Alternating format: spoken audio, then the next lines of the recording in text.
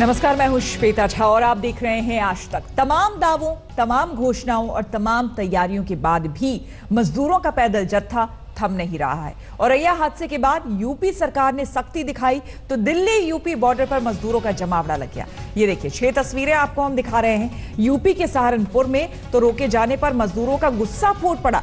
Police ने फिर बड़ी मुश्किल से इन्हें समझाया।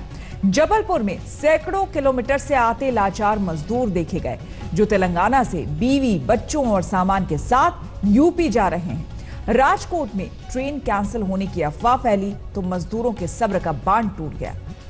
कुछ ऐसी ही तस्वीरें पूरे देश से अलग अलग हिस्सों से सामने आ रही है, जो कि मजदूरों की दुर्दशा, मजदूरों की मजबूरी और परेशानी बयां कर रही है। और अब आपको दिखाते हैं राजकोट की तस्वीरें। इन तस्वीरों को आप देखिए और जानिए कि किस तरह से घर जाने को उतावले इन मजदूरों को ट्रेन कैंसिल होने का की गलत सूचना मिली, जिसके बाद उनके सब्र का बाँध टूट पड़ा। गुस्सा हंगामे की शक्ल में बाहर आया और किस तरह से उन लोगों ने गाड़ियों में तोड़फोड़ की, उसकी तस्वीरें आप देख सकते हैं। राजस्थान से बिना जाने कितने मजदूर अपने अपने गाँव के लिए, घरों के लिए निकले हैं। लेकिन सब इतने खुशकिस्मत इतने खुशकिस्मत नहीं है कि उन्हें ट्रेन या फिर बस की सुविधा हो। तो जिन्हें नहीं मिली ये सुविधा, वो देखिए आखिरकार किस तरह से सड़कों पर उतरे और यहाँ पर उतरकर पत्थरबाजी की। कई गाड़ियों के शीशे तोड़े जो कि सड़क पर आपको दिख रहा है। कई गाड़ियों के, ये देखिए किस तरह से पूरी गाड़ी को तहस नहस कर दिया तोड़कर। कई ऐसे बसेस हैं जिनमें तोड़फोड़ की इन लोगों ने। इनका सिर्फ़ इतना ही कहना है कि उन्हें हर हाल में सिर्फ़ घर जाना है। उत्तर प्रदेश में योगी सरकार ने सख्ती दिखाई तो सहारनपुर में बिहार जाते मजदूरों को रोक लिया गया। फिर क्या हैरान, परेशान मजदूर हंगामे नारेबाजी पर उतर आए, उसकी ये तस्वीर है। इन्हें मनाने के लिए पुलिस को काफ़ी मशक्कत करनी पड़ी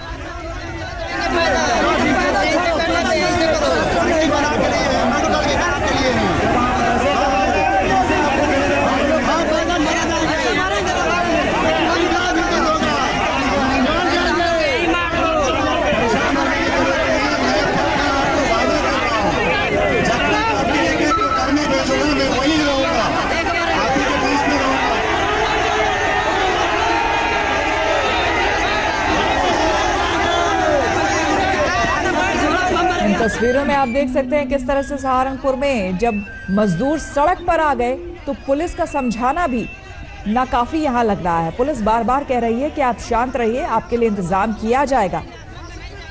लेकिन उसके बावजूद ये मजदूर कुछ भी सुनने को तैयार नहीं है।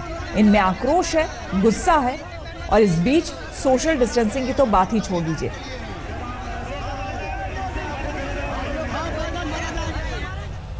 कई हफ्तों से सड़कों पर पैदल चलकर घर पहुँचने की कोशिश में जुटे मजदूरों के सब्र का बाँध अब टूटने लगा है। जगह जगह फंसे मजदूर उग्र होने लगे हैं, लेकिन इनकी बेबसी समझकर मामले में नरमी से पेश आने के बजाय पुलिस इन पर लाठियाँ चला रही है।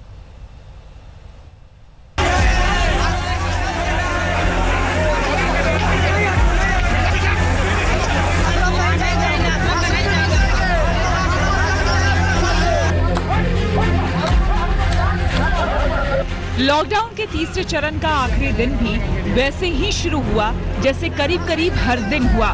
सड़कों पर मजदूरों की भीड़, हंगामा, घर वापसी की मांग और अफरा तफरी सहारनपुर में सुबह से यही आलम था। बिहार के सैकड़ों कामगारों ने शहर को सिर पर उठा लिया। अंबाला हाईवे पर जमा हुए इन लोगों के गुस्से के आगे पुलिस के तेवर भी काफूर हो गए। हाथों में लाठी, डंडे लेकर मजदूरों ने हाईवे पर हंगामा मचा दिया। इस दौरान हाईवे से जो गाड़ियाँ गुजरी, वो भी मजदूरों के गुस्से का शिकार बन गई। बेघर और बेरोजगार हो चुके ये मजदूर वैसे तो हर बात से खफा हैं, लेकिन इनकी सबसे ज़्यादा नाराज़गी बिहार की नीतीश सरकार को लेकर है इन्हें लग रहा है कि नीतीश सरकार इन्हें घर बुलाने के लिए वैसा कुछ नहीं कर रही जैसे बाकी राज्यों की सरकारें कर रही हैं। ये सभी मजदूर खुद से बिहार लौटने के लिए निकले थे लेकिन सहारनपुर प्रशासन ने इन्हें रोककर शहर से अलग बने एक शेल्टर होम में ठहरा दिया था उम्मीद ये थी कि यहाँ से इनकी घर वापसी के लिए ट्रेन या बस का इंतज़ाम होगा। लेकिन जब ऐसा कुछ नहीं हुआ तो मजदूर सड़कों पर उतर आए। हंगामा देखकर भारी पुलिस बल तैनात कर दिया गया।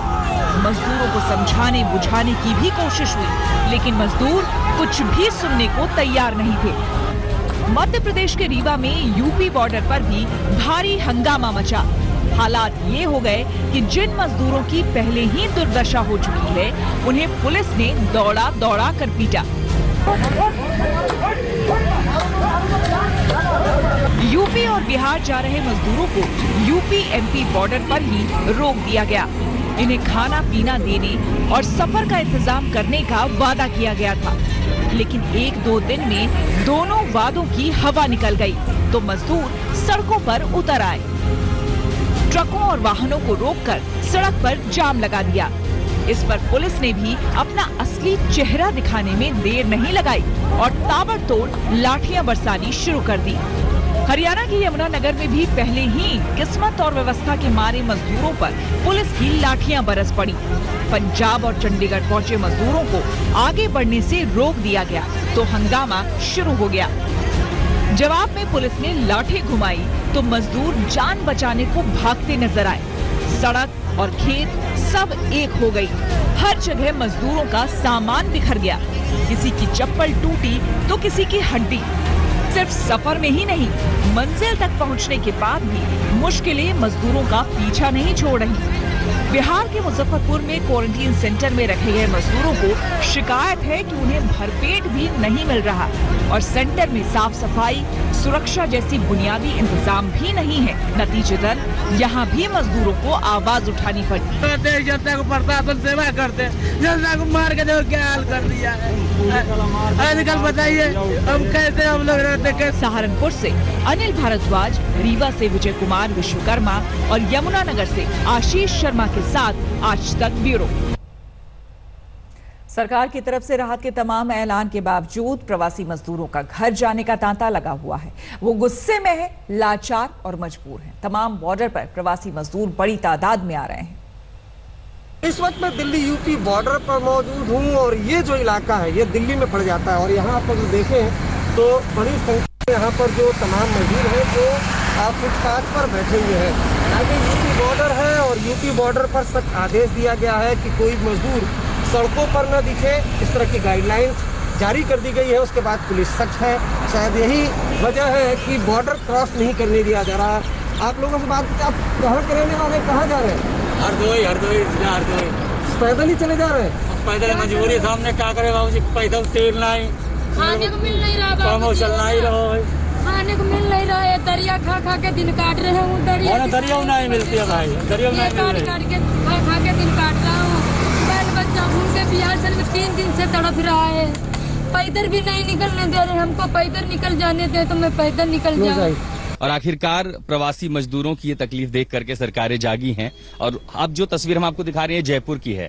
अलग अलग हिस्सों से जो मजदूर हैं जो उत्तर प्रदेश बिहार दूसरे राज्यों में जाना चाहते हैं यहाँ पर राजस्थान में ये जयपुर की सीमा है, शहर के ठीक बाहर वहाँ पर बसें खड़ी कर दी गई हैं। एक बस हम आप देख रहे हैं और ये तमाम सारे जो मजदूर हैं जो यहाँ से जाना चाहते हैं, वो निकलना शुरू हो गए हैं। तो यहाँ पर सबसे पहले क्या होता है? सबसे पहले उनकी जाँच की जाती है टेम्परेचर चेक किया जाता है, यानी स्क्रीनिंग और सरकार का जो विभाग है, सरकारी विभाग है, वो पूरा डेटा मेंटेन कर रहा है कि कितने लोग यहाँ से जा रहे हैं कौन कौन लोग हैं, उनका नाम पता। और सबसे बड़ी बात है मेडिकल स्क्रीनिंग क्योंकि कोरोना के संक्रमण को रोकना है। इसलिए लाइन लगा करके सामाजिक दूरी बनाई गई है और वहाँ पर जो राजस्थान जो टूर, जो बसें हैं ट्रांसपोर्टेशन डिपार्टमेंट है, वो परिवहन विभागों ने बसें यहाँ खड़ी की हैं। ये एक बस हम आपको दिखाएँ, दूसरी तरफ़ यहाँ पर बसों में पहले ही स्क्रीनिंग करके मजदूरों को बिठा दिया गया है। अलग अलग राज्यों से दिल्ली पहुँचे मजदूरों का पलायन बहुत तेज़ी से यहाँ पर चल रहा है। आप देख रहे हैं कि किस तरीके से राजस्थान के अलवर से आए हुए मजदूर दिल्ली बॉर्डर पर इनको रोक दिया गया है। फरीदाबाद से इनको क्रॉस करके नहीं जाने दिया जा रहा है। ये लोग वहाँ पर दिहाड़ी मजदूरी करते हैं और इनकी समस्या ये है कि ये लोग यहाँ पर खाने की भी व्यवस्था नहीं है। केंद्र सरकार की तरफ़ से राज्यों को ये कहा गया है कि आप लोग जिस राज्य में पहुँचे, वहीं पर मजदूरों को उनकी व्यवस्था करें रहने की। यहाँ देख रहे हैं कि कैसे मजदूर धक्का दे रहे हैं यहाँ पर गाड़ी को, और गाड़ी को धक्का देते हुए ये लोग आगे पहुँच रहे हैं। पूरा परिवार इनका इसी रिक्शे के अंदर मौजूद है। सभी परिवार के सदस्यों को लेकर के सारा सामान ये ढोते हुए आगे की तरफ़ जा रहे हैं। इनको दिल्ली में रोका गया है। अभी बॉर्डर क्रॉस करने नहीं दिया जा रहा है। प्रवासी मजदूरों के पलायन और बेबसी पर राजनीति भी ज़बरदस्त हो रही है। कल राहुल गांधी ने तंज किया कि सरकार साहूकार की तरह व्यवहार ना करे तो आज वित्त मंत्री निर्मला सीतारमन का जवाब आया। कांग्रेस अपनी सरकारों से ज़्यादा ट्रेन की मांग करने को क्यों नहीं कहती? किसानों के जेब में, मजदूरों के जेब में, जो हमारे माइग्रेंट वर्क माइग्रेंट वर्कर चल रहे हैं, उनके जेब में एकदम पैसे डालने की ज़रूरत है। और मैं आज भी विनती करता हूँ, सरकार से विनती करता हूँ कि आप कर्ज ज़रूर दीजिए। मगर भारत माता को अपने बच्चों के लिए साहूकार का काम नहीं करना चाहिए। भारत माता को अपने बच्चों को एकदम पैसा देना चाहिए, क्योंकि आज उनके, उनको पैसे की ज़रूरत है। जो माइग्रेंट सड़क पे चल रहा है, उसे कर्ज की ज़रूरत नहीं है, उसे जेब में पैसे की ज़रूरत है। जो किसान तड़प रहा है, उसको कर्ज की ज़रूरत नहीं है, उसे पैसे की ज़रूरत है। और पैसे की कोई कमी नहीं। दुख के साथ कह रही हूँ इस बात को। आराम से बोल सकते हैं। उनके अपने स्टेट्स को क्यों नहीं बोलता है कांग्रेस पार्टी? और ट्रेन लो। और ट्रेन मंगवाओ सेंट्रल गवर्नमेंट से। उनमें उन माइग्रेंट्स को बिठाओ। ना कि, क्योंकि सॉरी क्योंकि कांग्रेस पार्टी बोलते हैं, ये ड्रामाबाज हर दिन। मैं अभी उन्हीं के शब्दों को उपयोग करना चाहती हूँ। ड्रामाबाज है। कल जो हुआ माइग्रेंट को उनके रास्ते पे चलते हुए बगल में बैठ करके बातचीत करने का, वो समय है क्या? वो ड्रामाबाज नहीं है क्या? मैं ऑपोजिशन पार्टी को हाथ जोड़ करके विनम्रता से कहना चाह रही हूँ। माइग्रेंट्स का विषय में हम सब साथ होकर के काम करना है। सीआईएसएफ में कोरोना के मामले बढ़ते जा रहे हैं। 24 घंटे में आपको बता दें, पाँच और जवान इस वायरस की चपेट में आ गए हैं। अब सीआईएसएफ में कोरोना के कुल मामले 116 हो गए हैं। इनमें सबसे ज़्यादा मामले कोलकाता के हैं, जहाँ इकतालीस जवान कोरोना से बीमार हैं। और इसी के साथ इस बुलेटिन में फ़िलहाल इतना ही। देश दुनिया की तमाम खबरों के लिए आप देखते रहिए आज तक।